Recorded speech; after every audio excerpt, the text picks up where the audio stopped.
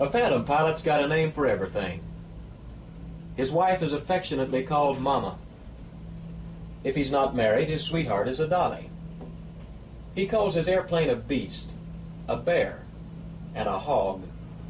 But nobody else can talk that way about the ship he flies, at least not in his presence. The folks up north have a name, too, for the guys who fly the Wolfpack's Phantoms. They call us Yankee Air Pirates. And some of us ain't Yankees at all. But I reckon that's okay. We've called them a few things, too. And well we might. The way they shoot at us with their SAMs and guns, it's a wonder we're not all nervous wrecks. And when you go rooting around at night up there, and pull out of a dive and suddenly find yourself right in the middle of the fireworks display of the biggest Fourth of July celebration you've ever seen in your life, well, that's a good way to get old in a hurry. Or a good way not to get old at all if you don't move it around and get out of there. Yankee Air Pirates. Yep, that's what they call us. And probably a few other things, too. I am a Yankee Air Pirate with a deep tees and bloodshot eyeballs. My nerves are all run down from bombing downtown, from SAM breaks and bad bandit calls. A Yankee air pirate, a Yankee air pirate, Yankee air pirate am I.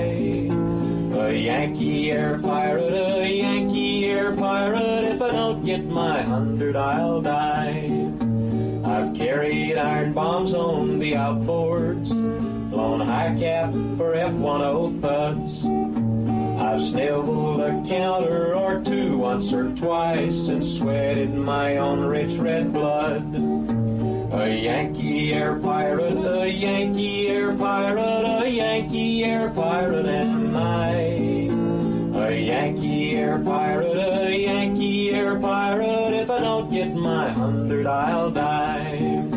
I've been downtown to both bridges, to Nui and Kep and if you ask me, then I'm sure you can see there's no place up there I ain't been. A Yankee air pirate, a Yankee air pirate, a Yankee air pirate am I.